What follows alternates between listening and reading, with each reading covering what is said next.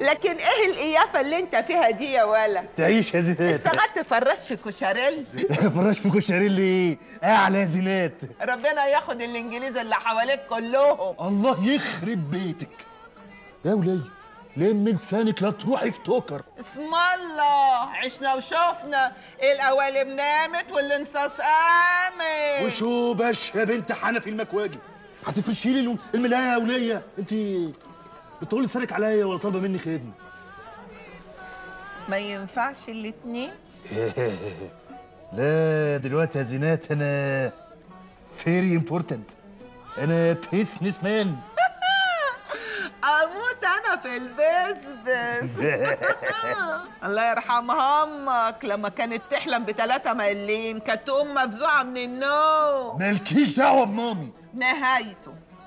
بص بقى. أنا جاية لك في موضوع مهم. أنا عارفة إن في طار بينك وبين المعلم العسال بس أنتوا في بينكم وبين بعض عيش وملح.